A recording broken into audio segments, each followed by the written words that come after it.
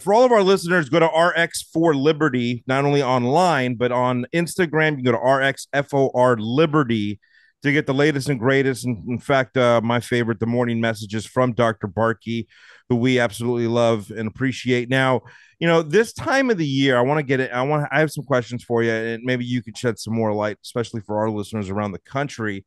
Um, you know, it's hard to figure out the difference between, let's say, being sick and having allergies. Now, some might say that when you're when you have when you when you have allergies, maybe that is a sign of being sick, but I don't know.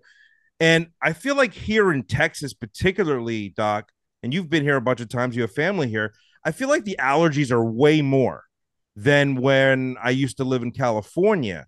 Now, how is that possible? Because California has the greatest weather on planet Earth. That's why. and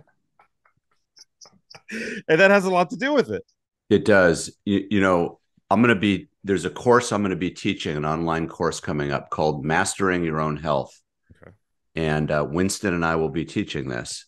And there is a section on on allergies specifically. So mastering your own health. If you go on my Instagram or website, RX for Liberty, uh, you can learn about it. It will be once a week for 10 weeks in a row, about an hour, interactive. So it'll be on a Zoom like platform and we'll have units on cardiovascular health, adrenal health, mm. hormonal health for both men and women, uh, a section on sleep. I've got a couple special guests that will be uh, recording and teaching this with me. And I think it'll be a, a fantastic opportunity.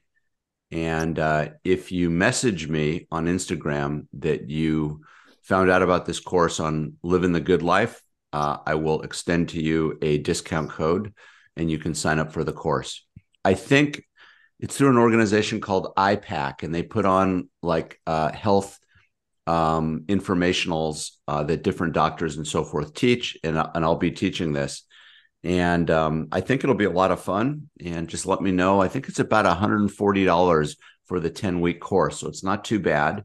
It's recorded. So if you miss a lecture, uh, you can watch it as a as a subscriber uh, to this university course, if you will, and it is guaranteed, guaranteed. You heard it here first to lower your golf score by at least one stroke around.